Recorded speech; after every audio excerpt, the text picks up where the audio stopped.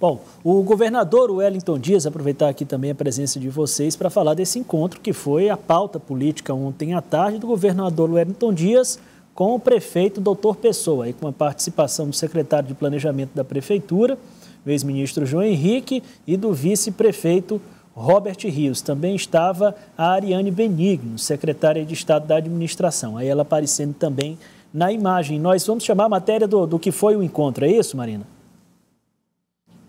Ah, é só é, já a Lídia já vai trazer aqui para nós os desdobramentos e o Elivaldo também é, dos bastidores políticos do que aconteceu. Né, oficialmente, né, a, da pauta administrativa, o governador falou da criação de um comitê para a, cuidar dos reflexos, os efeitos que as chuvas devem causar em Teresina. São esperadas chuvas também, a exemplo do que está acontecendo lá na região de Uruçuí. Então já foi criado esse comitê. Mas do ponto de vista político, o que, que se extraiu desse encontro, Lídia? Do ponto de vista político, é, Tiago, tem uma expectativa com relação à possibilidade desse grupo coordenado pelo governador Wellington Dias e futuramente pelo secretário Rafael Fonteles poder contar com o apoio do prefeito doutor Pessoa e do grupo que lidera hoje a Prefeitura de Teresina. O governador Wellington Dias falou sobre esse encontro, diz que foi positivo, né? mas os resultados políticos a gente vai acompanhar em 2022. O governador Wellington Dias avalia como positivo o encontro com o prefeito Doutor Pessoa na noite de ontem na Prefeitura Municipal. Os dois acertaram parcerias administrativas entre o Estado e a capital. Novas parcerias, tanto para a área social como para essa área de infraestrutura e com isso, eu acho que a gente vai dar mais celeridade a coisas que já estão em andamento e algumas que a gente precisa vencer a burocracia dos dois lados. O governador destaca a criação de um comitê para discutir de forma preventiva as cheias na capital. Teresina é uma cidade ribeirinha, mas não só Teresina, as outras cidades também. Então, por uma proposta que ele apresentou e eu achei muito boa, nós já criamos um grupo preventivo que vai integrar.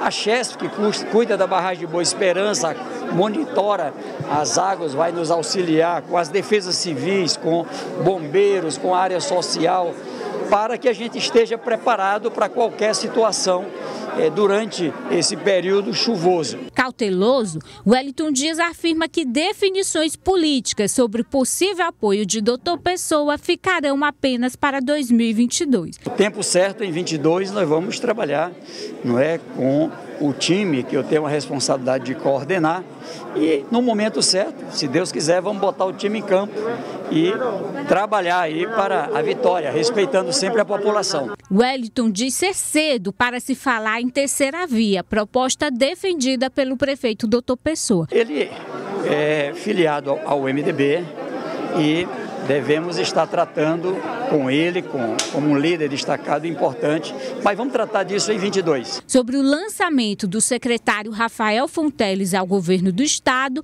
o governador afirma que a decisão será do Partido dos Trabalhadores. No prazo legal, 2 de abril é o prazo legal para é, pela lei eleitoral para que as pessoas façam a desincompatibilização para ter o direito a ser candidato.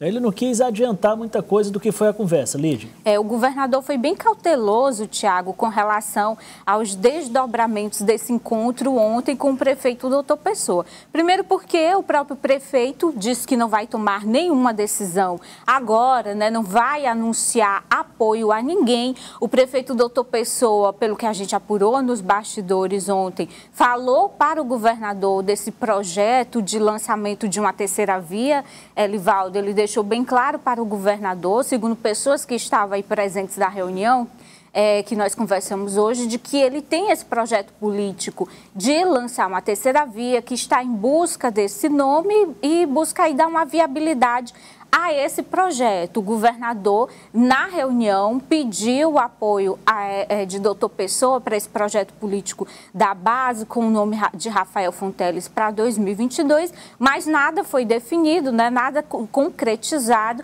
e doutor Pessoa só vai se manifestar, Elivaldo, com relação a uma decisão de que caminho ele vai seguir em 2022. Né? ou seja, mesmo o partido ao qual ele é filiado já está estando já com presença confirmada no palanque governista, mas doutor Pessoa, prefeito de Teresina, mantém uma postura independente.